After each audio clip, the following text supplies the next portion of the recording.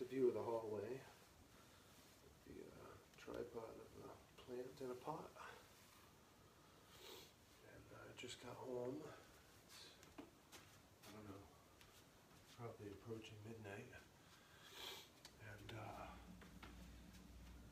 Rich Hamel uh, posted today that, uh, I think today, maybe this week or something, this is uh, 52nd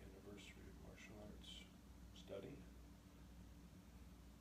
And uh, I thought, well, I'll just write uh, good for you or something, or I'm bowing to you, or, uh, or uh, kudos to you, or I'm thinking of you, or something like that. And I wrote, uh, instead of bows to you or bowing to you, I wrote uh, 52 bows to you, because that was the number he used. And I thought, well, I'll actually do those bows and make that my practice today. So, uh, I'm all by my lonesome here. Well, actually, that's not true. My teacher's here, Saki, but he's not much for counting, so no idea if I'll be able to keep track, but I'll try. Uh, so, 52 bows. I'll do an introductory bow.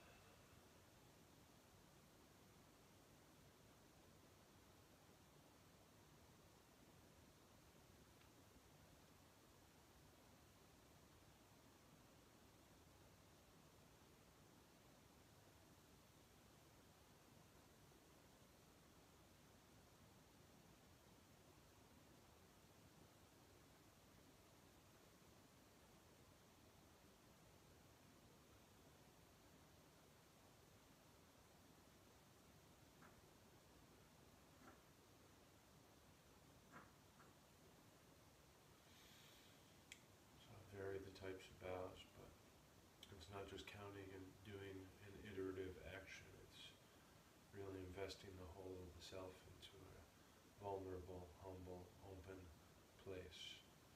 So seeking the highest facet of yourself and lowering it to the lowest facet that is perceivable or apprehendable in the moment of something else, someone else, an idea, an energy.